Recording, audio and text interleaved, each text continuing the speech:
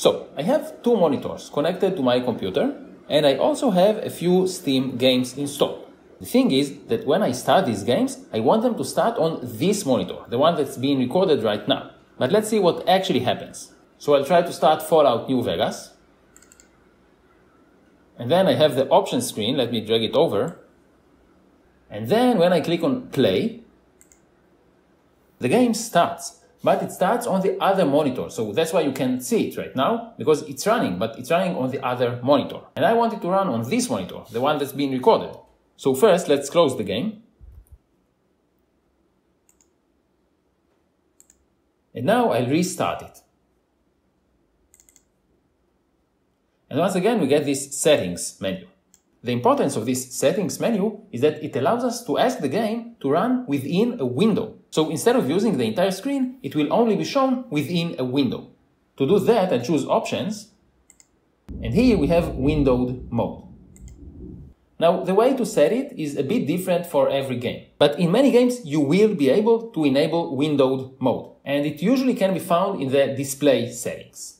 Now, as for the resolution, you should never use the full resolution of your screen when using a windowed mode. So to check the resolution of your screen, you can right click on your desktop and open the display settings.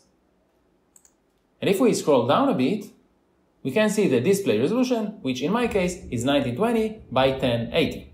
So back for the game resolution, I won't use it because I don't want the game to use the full resolution while in windowed mode.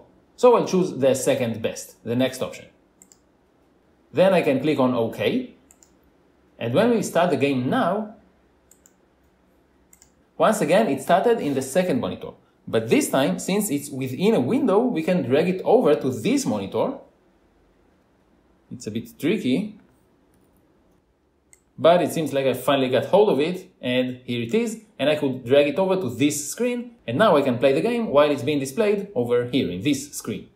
So we have this option, but it's not a perfect solution because the game doesn't use the entire screen. So we have an alternative method that may sometimes work. So first let's close this game. And to show the other method, I start my other game, which is RimWorld. And as you can see, it started within a window. Now under options, we have the graphics options, and here we can turn full screen on or off. So if I turn it on, it uses the entire screen. And now I cannot drag it, of course. But if I turn full screen off, it only uses a window. And now I can drag this window over.